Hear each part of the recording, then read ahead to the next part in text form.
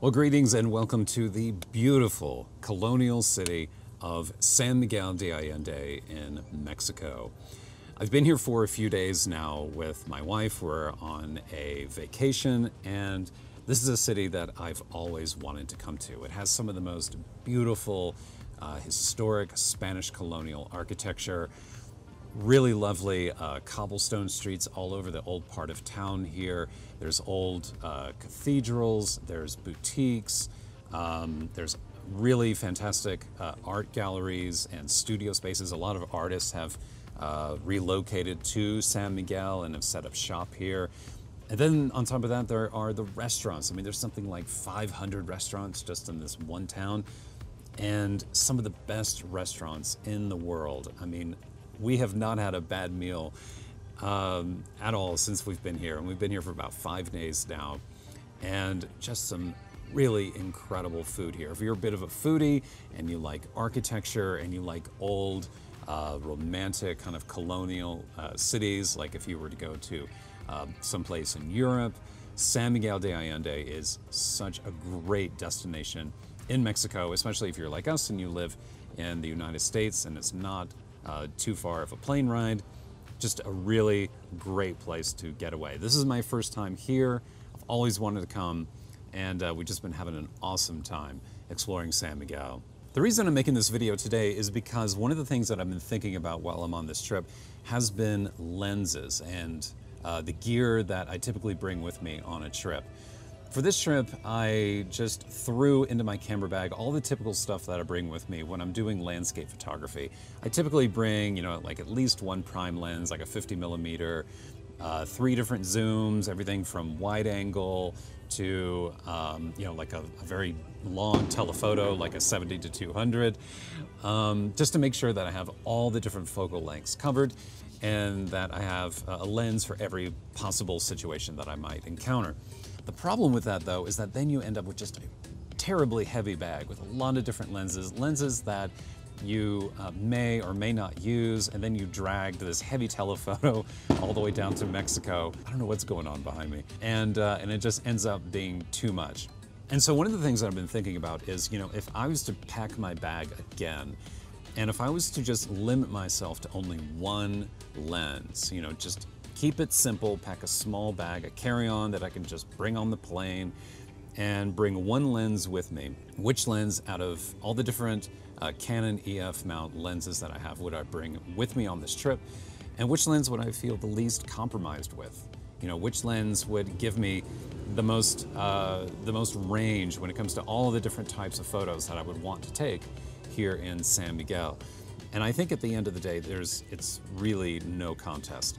If I were to pack one lens and bring it with me, for me, I think the best overall travel lens for the Canon EF mount system would be the Canon 24 to 70 millimeter f2.8. All right, so what makes this the best travel lens? Well, there are a few different factors which I'm going to cover in this video. First of all, let's talk about focal length.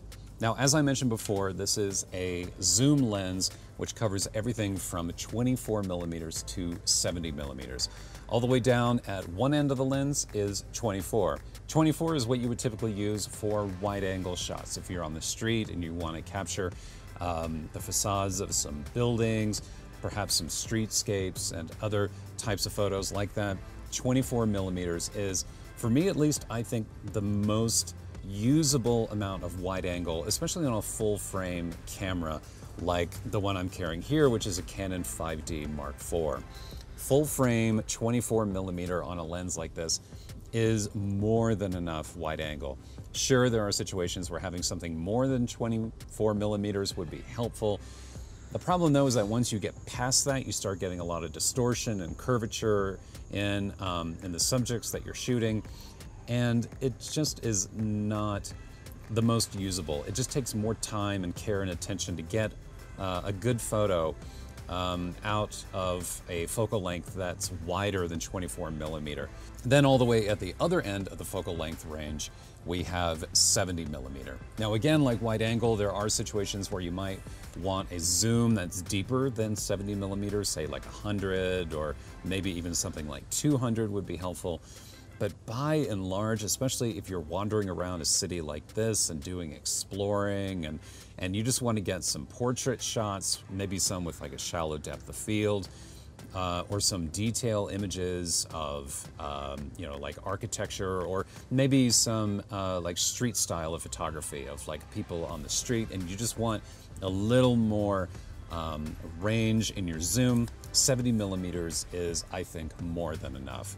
And then in between 24 and 70, obviously you have other focal lengths which are um, fantastic. You know, focal lengths like 30, 35 millimeter and 50 millimeter, very natural looking focal lengths to the human eye, which is nice if you're doing uh, photography that's a little more like uh, documentary uh, styles, something that you know doesn't appear to be uh, too zoomed or too wide angle, just something which looks very natural. It's it's a type of uh, photography and a focal length that I enjoy using uh, quite a lot. So with this one lens, this one very uh, versatile lens, you have a fantastic focal length range of 24 to 70, which will cover everything that you will likely encounter and need during your trip. Now the other thing that makes this, I think, such a great lens is its aperture. This has a maximum aperture of f2.8, which means that when you dial your aperture down to f2.8 when mounted on your camera, you're going to have uh, a lot of light coming into the camera. Not as much light as uh, a lens that would have a maximum aperture of like say f1.8 or 1.4, but 2.8 is actually pretty good, which helps a lot when you're shooting handheld. So if you're doing like a portrait on the street and you want a shallow depth of field, or you're in a semi-low light situation, you can just open that aperture all the way up to f2.8 and you can still shoot without having to increase your uh, ISO too much or decrease your shutter speed. And the problem with shutter speed, of course, is that once you start to dial down that shutter speed, then you start to introduce camera shake, and that's no fun. So it's really helpful to have uh, f2.8, I feel like, uh, especially in lower light situations and when you're shooting handheld. Now, the other thing that makes this just such a great lens, I think, is the overall build quality. These L lenses made by Canon are some of the best. They're weather sealed, they're um, just engineered so beautifully. They're rugged. They're just awesome pieces of hardware. Now, last but certainly not least is image quality. With a lot of zooms, and this is one of the reasons why you hear photographers oftentimes preferring prime lenses that just have a fixed focal length, is the fact that with zoom lenses, because there's variability in the focal length, there's variability in the image quality as well. So depending on what aperture you you have dialed in and what focal length you're using, the quality of your image, the overall sharpness of the image, especially from the center of the image to the corners, how much distortion you have in the corners, is kind of up in the air. You know, not all lenses are created, not all zoom lenses are created equal. And that's what makes this particular model of lens so special, I think. This 24 to 70 f2.8 is the fact that you can shoot this lens wide open at f2.8, 24 millimeter, and you will get a beautiful photo, sharp from center to corner with very little distortion. And it really doesn't matter what aperture you use, what focal length you use, no matter what you choose, your images are going to be fantastic with this lens. I think you could actually make the case that 50 millimeter on this 24 to 70 millimeter is actually better than a prime lens like the Canon EF 50 millimeter, which I think is like an f1.4. I would actually rather shoot 50 millimeters on this than that prime lens because the image quality of 50 millimeter on this lens is just so good. The other one is okay. I've always found it to be a little bit soft. Um, but on here, on this lens, it's just fantastic. So long story short, no matter what focal length you're using, what aperture you have dialed in, you're always going to get superb images with this lens. Now, as you may know, at the time of this video, there are some newer, higher end uh, mirrorless cameras that are being made by Canon, like the EOS R and the EOS RP, which have a new RF mount which is different than the EF mount, which is what this lens uses and, and many other Canon cameras use the EF mount system as well. EF has been around for a long time. RF is very new, and as part of that, there are nowhere near as many lenses.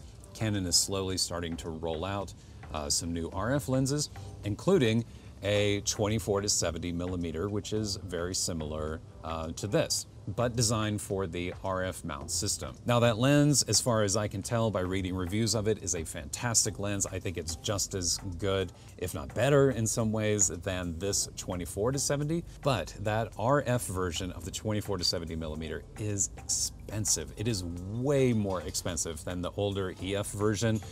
And I think you could actually make a pretty effective argument for not buying the RF version of that lens, especially if you know you just spent a bunch of money buying the camera body.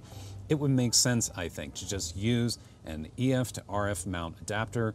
So you can use that adapter and then put on an older EF mount lens like this one, this 24 to 70 millimeter on that EOS R or EOS, EOS RP, and you'll have superb image quality. You will have a fantastic lens and you will save a lot of money compared to buying the RF version of the same lens. The other reason why using an EF lens on an RF uh, mount system like the EOS R or EOS RP is actually better, in my view, is the fact that if you happen to have another Canon camera like this one, which has an EF uh, mount, that means that you can use this 24 to 70 millimeter on that camera body on the DSLR, or you can use it on your mirrorless camera. It just gives you more flexibility.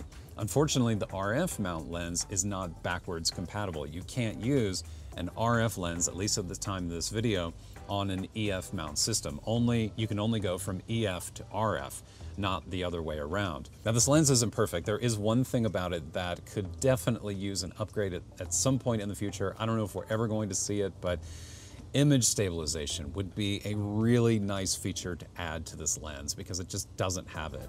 The way that Canon has always designed uh, the cameras, at least in the time of this video in the summer of 2019, is that image stabilization is always relegated to the lens. It's always the responsibility of the lens to handle stabilization because Canon cameras do not have, unlike other camera bodies that you'll find out there on the market these days from other manufacturers, they do not have in-body stabilization.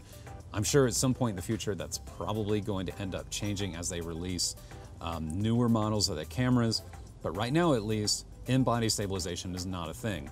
So stabilization, which helps you get just sharper photos, especially when you're shooting handheld, is the responsibility of the lens. And for whatever reason, Canon has never integrated image stabilization to the 24 to 70 millimeter f2.8. I really wish they would. Unfortunately, um, it's just not a feature on the 24 to 70, but you do have those extra stops of light. You do uh, have the ability to open this up all the way to f2.8 which means that you can then shoot at a faster shutter speed, which will help get you sharper photos when shooting handheld.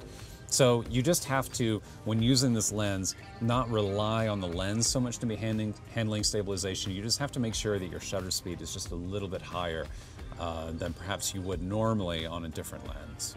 All right, so in summary, best lens out of all the different lenses that are available for the Canon system that you can bring with you on a trip the one lens that you probably should not leave home without, the one lens that you could use on a desert island if you could only bring one with you, it would absolutely be the Canon 24 to 70 millimeter f2.8 Mark II. All right, so that's it. Thanks for watching this video. I hope you found it useful. If you have any questions, comments, or if you have your own travel lens that you think is actually better than the 24 to 70 millimeter, I would love to hear your thoughts. Uh, please feel free to leave a comment below. See you next time.